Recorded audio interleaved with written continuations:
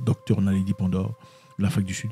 Très captivant, très fort. Comme vous le savez, euh, les Palestiniens vivant à Gaza n'ont pas de courant. ils n'ont pas à manger, ils n'ont pas de nourriture, ils n'ont pas de ressources de santé.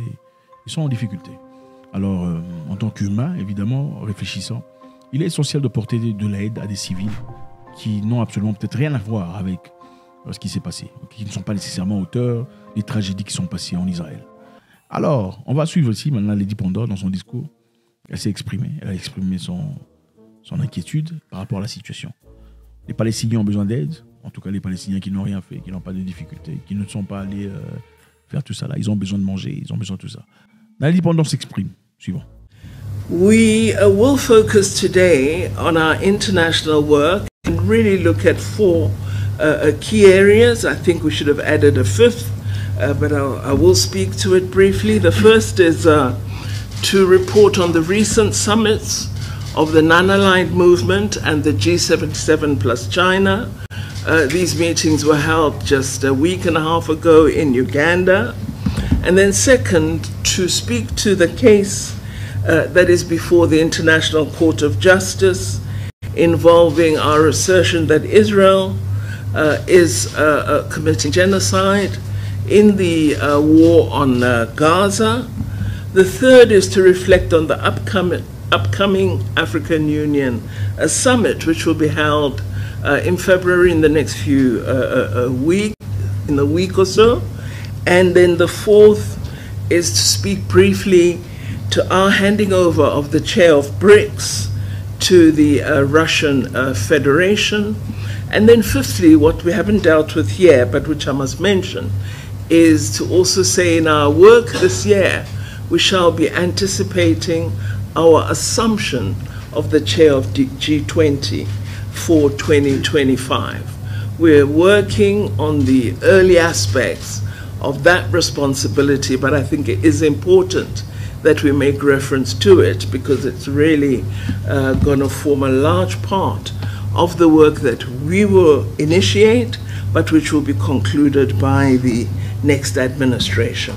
So, first, on the recent uh, summits of NAM and G77 in China, uh, the summits uh, took place uh, in Kampala, Uganda, from the 19th to the 22nd of January. The uh, Non-Aligned Movement Summit identified five priority areas for focus. These were regional and international peace and security, the fight against terrorism, the issues of migration and humanitarian crises associated with this, as well as the issue of security in migration, um, as well as human trafficking and uh, our progress as the non-aligned movement countries in uh, implementation of the sustainable development uh, goals. In our South African statement to the non-aligned movement presented by uh, President Ramaphosa, the President confirmed that South Africa will remain steadfast in advancing its non-aligned approach to the maintenance of international peace and security by advocating always for the peaceful political settlement of disputes and for inclusive dialogue between countries in conflict. The non-aligned movement also had uh, the great excitement of welcoming its first new member in 13 years, and that was the Republic of South Sudan, which now brings the total membership of NAM to 121 state parties. Following the non aligned movement meeting, I led the South African delegation to the G77 and China summit, which was held under the theme Leaving No One uh, Behind. The G77 and China uh, group is also known as the South Summit. It is the largest negotiating bloc in the United Nations body, representing most developing countries and over 80% of the world's population. The focus on the summit was on enhancing South South cooperation in the areas of trade, investment, sustainable development, responses to climate change, poverty er eradication measures, and uh, fully uh, extracting opportunity from the digital economy. We had a really excellent uh, summit with uh, uh, very good outcomes from both the NAM deliberations as well as the G77 uh, uh, and China. And I think, and I we remain as a fairly uh, well united body of countries that share perspectives that are common on a number of issues, but there are areas of difference. But I think what is really uh, noteworthy is that we are able to robustly uh, discuss with each other and arrive at uh, agreed uh, perspectives on uh, various matters. If you look at the uh, final declarations of both, you will see common areas of deliberation between the two summits, and then key in the deliberations were the matters of our perspectives as developing countries on the responses uh, to climate change, the responses of the wealthy nations to their responsibilities in supporting developing countries uh, to address the climate change uh, impact, uh, issues of the war uh, uh, against in Gaza, which is really a war against the people of Palestine, also came up from a great deal of discussion. We also uh, concluded on reform uh, of the United Nations Security Council, on which there are very strong feelings among non-NAM members, as well as the G77 and China. We really uh, pushed in the final uh, uh, declaration for conclusive action on this matter of UN uh, reform. Then I turned to the case before the ICJ regarding what we uh, believe is Israel's genocide in the war on Gaza. Uh, some of you would now know that at a special cabinet meeting that we held on the 8th of December last year, we decided as government that South Africa should institute legal proceedings at the International Court of Justice against Israel for, we believe, violating its obligations under the Geneva Convention on the Prevention and Punishment of the Crime of Genocide. You would all be aware of some of the facts surrounding this war in Gaza. Recent figures by Oxfam indicate that the average daily killing of Palestinians by the Israeli military since October 7th exceeds the daily death toll of any major conflict in recent years.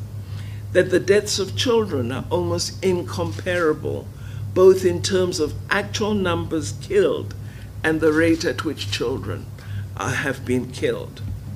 More journalists, you would know better than we do, have been killed in Gaza in the last hundred days than were killed during the Second World War and the Vietnam War. So having looked at a range of information and data before us, Cabinet was persuaded by the sheer immorality and illegality of the actions of the Israeli government that we had to act. There was consensus in that meeting that South Africa should approach the highest judicial organ of the United Nations to seek an end to the mass killing of Palestinians and to stop the wholesale destruction of civilian infrastructure, including residential buildings, hospitals, schools, bakeries, water and electricity facilities.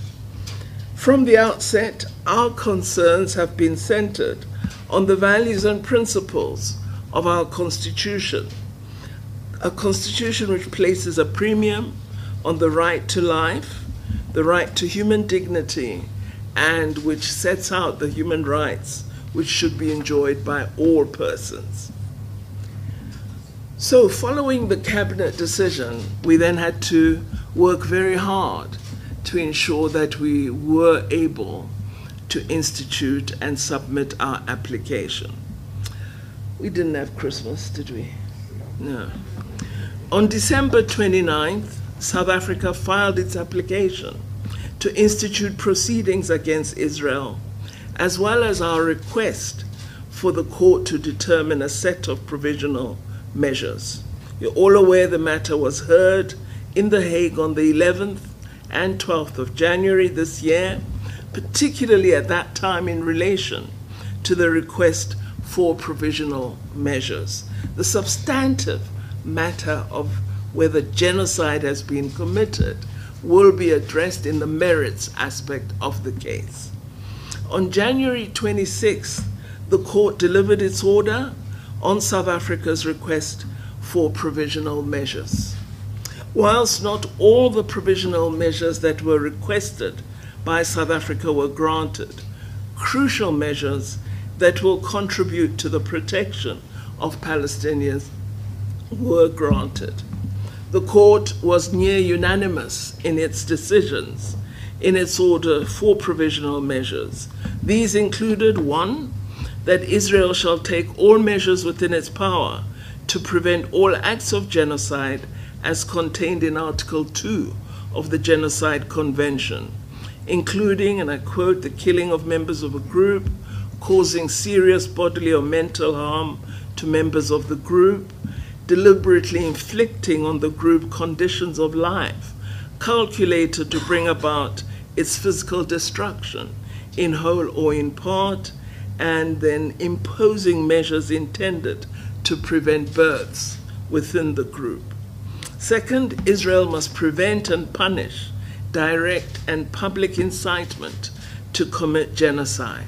And I must say, with this particular point, the court went into some detail with evidence of statements of incitement that have emanated from leading government officials within the administration uh, of uh, Israel.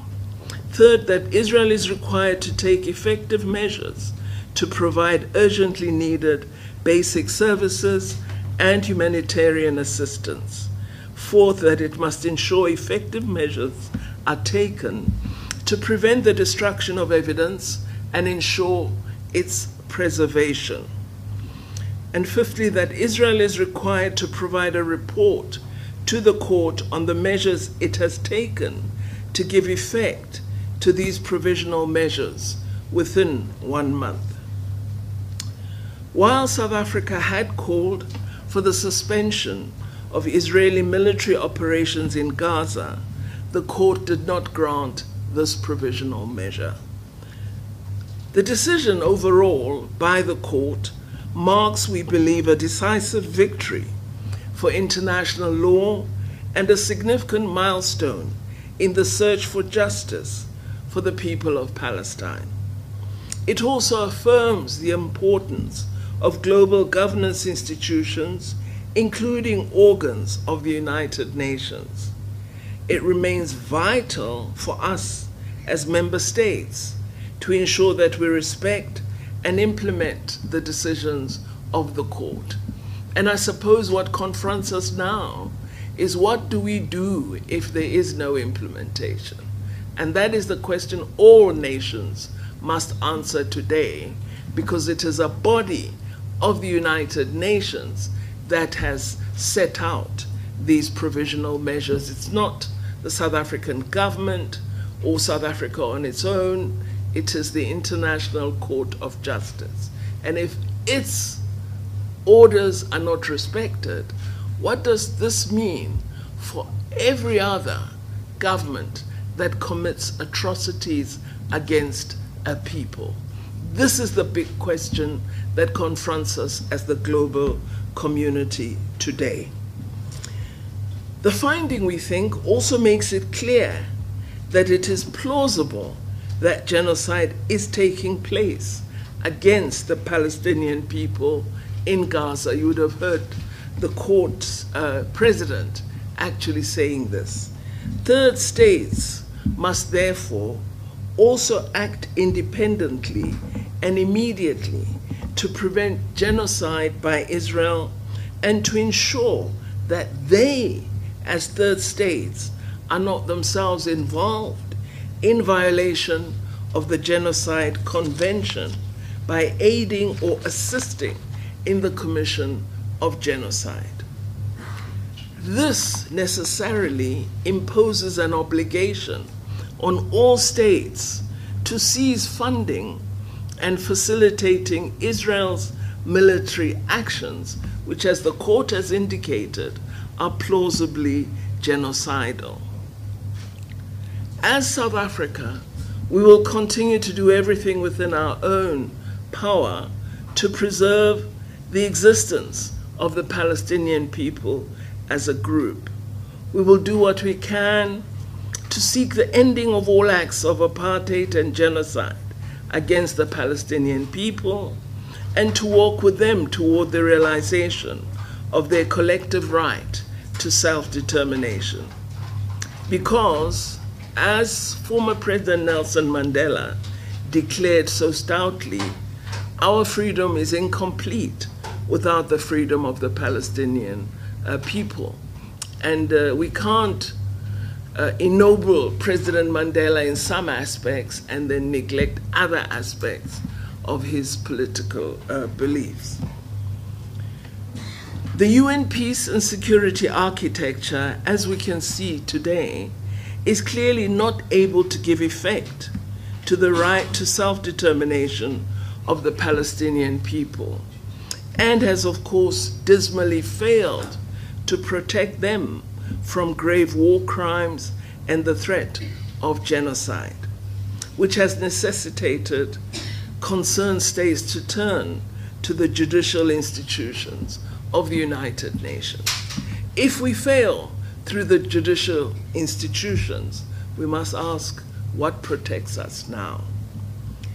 South Africa welcomes the support expressed by several countries and we encourage those states that are so inclined to approach the court to intervene in the proceedings in support of our case so as to send a strong message to the international community that the situation in the Gaza Strip is indefensible. Several countries spoke to me at the uh, summits uh, in Uganda indicating their intention uh, to take these steps. But I am still waiting for the uh, public action. But there are a number that have indicated a commitment to join us. Ce combat a bien montré les lacunes et les difficultés du Conseil de sécurité des Nations Unies. Nous ne sommes pas parfaits. Ça a clairement montré les trous, les difficultés, tout le bazar. Et il est temps de pouvoir ajuster ça. Vous vous rendez compte que depuis tout ce temps, il y a cinq pays qui dominent tous les pays du monde. C'est eux qui ont les, sit at the United Nations Council, c'est-à-dire c'est eux qui sont assis de manière permanente euh, dans le Conseil de sécurité. Donc, 10 pays peuvent dire non. Et s'ils disent oui, c'est oui. 10 pays peuvent dire oui. Si un pays, parmi les 5 pays, dit non, c'est non. Et ces pays sont les États-Unis, la France, Grande-Bretagne, la Chine et la Russie. Donc, ils sont censés être quoi, les plus puissants, les plus. Euh, dans un monde juste, c'est pas cohérent. Pas, ça ne se fait pas. Vous pouvez vivre dans une société où vous êtes musculairement plus fort, mais ça ne veut pas dire que vous avez plus de droits que tout le monde. Ça ne peut se faire que dans un monde injuste, n'est-ce pas? Dans un monde correct, ce n'est pas, pas acceptable. Et elle demande un changement à cet égard. On the upcoming African Union summit, all of you know I familiarly uh, uh, report on our country's foreign policy having at its core the advancement of the African agenda.